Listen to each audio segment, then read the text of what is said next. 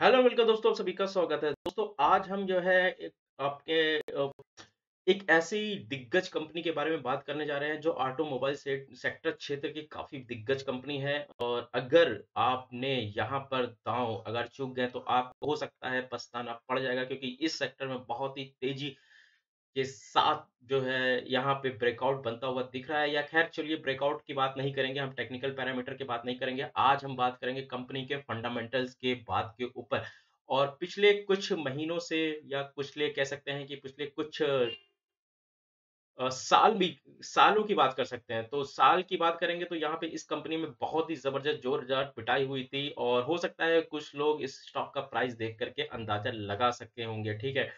तो वह सारी बातों पे चर्चा करेंगे और मेरा नाम है शेख जहीर, आप देख रहे हैं टेक मज़ा चलिए शुरू करते हैं। दोस्तों, अगर आपको भी डीमेट अकाउंट ओपन कराना, free of cost demat account open हो रहा है तो आप हमारे लिंक के ज़रिए डीमेट अकाउंट ओपन करा सकते हैं। आपको हमारे ज़रिए मिलेगी टेक्निकल और फंडामेंटल एनालिसिस की सारी की सारी जानकारी जूम पर और ऑनलाइन ट्रेनिंग के ज़रिए फ्री ऑफ़ कॉस्ट। तो देर मत करें, डीमेट अकाउंट ओपन करा ले। तो चलिए लौटते हैं अपने टॉपिक के ऊपर। दोस्तों, आज जैसा कि पता है, आज अभी देखिए, जैसे कि अभी आपको पता होगा कुछ सेक्टर जैसे दोस्तों काफ़ी ज़्यादा मतलब जो है, दौड़ चुके हैं। जैसे कि नंबर एक सेक्टर की हम बात करें तो नंबर एक सेक्टर सबसे ज़्यादा जो दौड़ लगाई है वो banking sector banking and finance sector ने सबसे ज़्यादा दौड़ लगाई है। उसके बाद जो दौड़ लगाई थी उससे पहले जो दौड़ लगाई थी एक्चुअली एक्चुअली मैं बैंकिंग तो बात दौड़, उसके पहले सबसे पहले फार्मा फार्मा और आईटी ने दौड़ लगाई थी। ठीक है फार्मा एंड आईटी ने। फिर उसके बाद जो है बैंकिंग ने दौड़ लगाई। एक सेक्टर देखिए, अभी थोड़ा सा मिस हो गया है और वो उसमें जान नहीं बाकी है और वो सेक्टर 2018 से गिर रहा है। जी हाँ मैं बात कर रहा हूँ ऑटो सेक्टर के बारे में। तो अभी अगर देखिए, आप अगर एक अच्छे इन्वेस्टर हैं तो अगर आपको इन्वेस्टिंग करनी आती है तो आप क्या करेंगे? आप जो है स्टॉक्स में दांव नहीं खेलेंगे, आप सेक्टर पे दांव खेलेंगे। एक अच्छा इन्वेस्टर वो होता है जो एक्चुअली सेक्टर पे दांव खेलता है और सेक्टर स्टॉक से अपने आप को रिलेट करता है।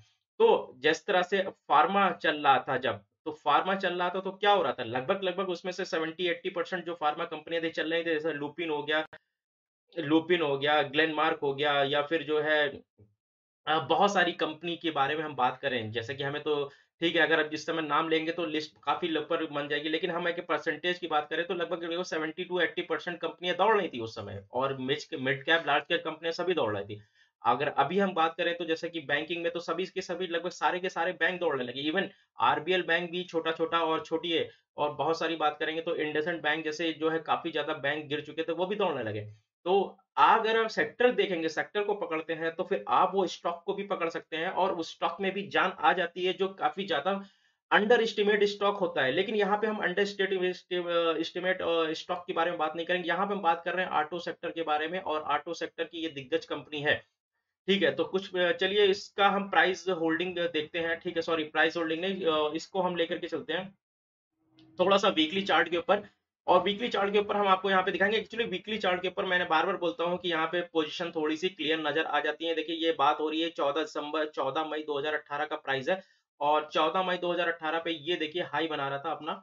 देखिए, सबसे ज़्यादा हाई पे था एक सौ साठ रुपए का। हो सकता है ये यहाँ पे एक सौ रुपए का हाई बना रहा था। यहाँ पे और उसके बाद जब ऑटो सेक्टर में काफ़ी बड़ी गिरावट आई तो इसने जो है यहाँ पे ये कंटिन्यूअसली जो है इसने गिरावट झेली है और उस गिरावट को झेलते हुए ये स्टॉक यहाँ पर के आकर के टिक गया।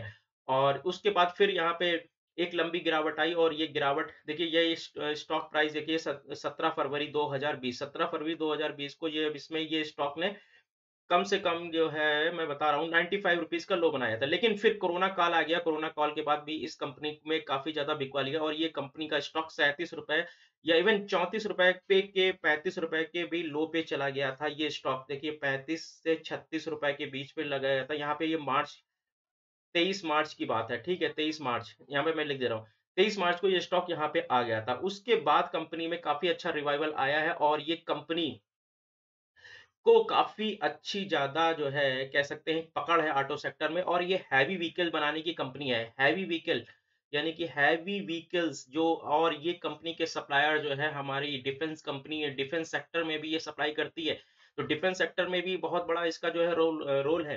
तो देखिएगा ये यहाँ पे अभी जो इसका प्राइस चल रहा है वो लगभग लगभग सौ रुपए के आस-पास चल रहा है यानी कि ये जो करंट प्राइस बात करें ₹95 है। देखिए अभी ये जो और ये डेट है डेट ये 25 दिसंबर सॉरी 24 दिसंबर। 25 दिसंबर को तो मार्केट क्लोज था। 24 दिसंबर को ये 95 रुपीज़ टू फाइव पैसे पे ये क्लोज हुआ था। ठीक है?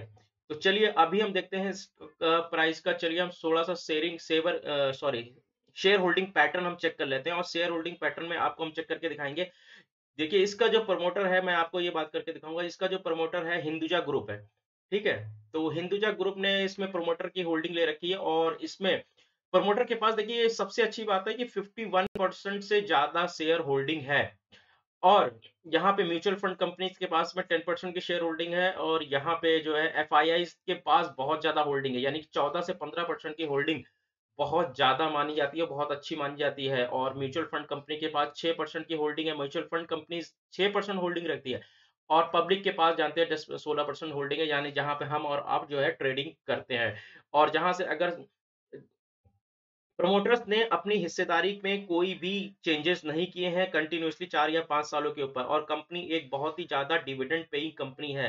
तो चलिए कंपनी ने लगातार डिविडेंड दिया है और प्रमोटर ने की जो हिस्सेदारी, आप यहाँ पे देखते हैं प्रमोटर की हिस्सेदारी कंटिन्यू बराबर बराबर 51 परसेंट बढ़ी हुई है।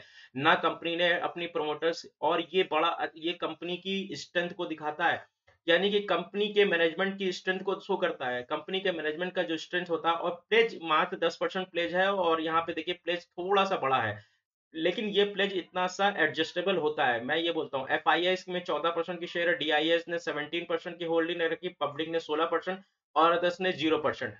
तो कुल मिलाकर के ये कह सकते हैं, कंपनी का, के फंडामेंटल काफ़ी अच्छा मज़बूत है, और मैं बात कर रहा हूँ अशोक लेलैंड के बारे में, ठीक है? जैसा कि आपको पता है कि अशोक लेलैंड हैवी व्हीकल बनाने वाली कंपनी है और इसमें जो है काफ़ी अच्छी ग्रोथ पोटेंशियल दिख रही है आने वाले टाइम में। तो चलिए कंपनी के बारे में बात करें। कंपनी को जैसे कि मैंने आपको बताया कि कंपनी एक डिविडेंड, हाई डिविडेंड पे ही कंपनी है और कंपनी का share, company, high dividend pay company है और आईसीसीआई डायरेक्ट ने जो है इसका प्राइस अभी शॉर्ट टर्म के लिए एक सौ बता के रखा है। और यहाँ पे जो इसका करंट प्राइस है जो नाइन्टी सेवन रुपीज़ के आसपास चल रहा है, ठीक है। कंपनी का शेयर होल्डिंग पैटर्न के देख करके ये लगता है तो फाइनेंशियल कंपनी के काफ़ी अच्छे हैं। तो पिछले क्वार्टर में जो है, यहाँ पे कंपनी ने दो रिपोर्ट कंसोलिडेटेड सेल जो इतने की की थी तो कंपनी का जो जो सेल था, ये अड़तीस रुपए था। ये और इसने जो 160 परसेंट की जंप की थी लास्ट क्वार्टर जो लास्ट क्वार्टर ये सितंबर सॉरी ये उसका क्वार्टर है। ये जो अभी जो लास्ट क्वार्टर बेचा है, उसमें जो कंपनी के रिज़ल्ट आए थे और कंपनी का जो प्रॉफिट हुआ था कंपनी का एक्चुअली प्रॉफिट अभी नहीं आया क्योंकि अभी प्रॉफिट डाउन है क्योंकि कंपनी जो है, थोड़ा सा जो जो सेक्टर है, ये देखिए माइनस तेईस परसेंट डाउन हुआ था। उसके बाद भी कंपनी ने अच्छी ग्रोथ दिखाई क्योंकि कंपनी का मैनेजमेंट काफ़ी अच्छा है कंपनी के जो है जो प्रमोटर्स हैं, वो हिंदुजा ग्रुप है। और उनके पास कंटिन्यू 51.5 परसेंट शेयर होल्डिंग बनी हुई लगातार और उन्होंने कभी भी चेंज नहीं किया इसमें।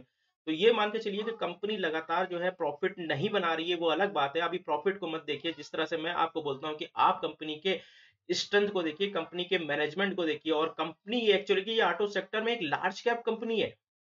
और जो जिस व्हीकल में ये ट्रीट करती है, जिस व्हीकल में जो है ये होल्ड करती है, अपने आप को दबदबा बनाती है, वो एक तरीके से इनके ट्रक सेक्टर में, यानी हैवी व्हीकल्स में ये जो है नंबर वन बनी हुई है कंपनी तो अभी भी जो अगर आप ये सोच रहे होंगे कि ये कंपनी छोटी है, वो अलग बात है, लेकिन जो कंपनी में अभी भी स्ट्रेंथ बाकी है। और कंपनी में अगर आप यहाँ पे अगर पोजीशन बनाना चाहते हैं तो अभी भी मैं बोलता हूँ कि अभी थोड़ा सा रुक करके अगर ये नब्बे रुपए के आसपास जब जाता है तो इसका जो है आप यहाँ पे पोजीशन बना सकते हैं।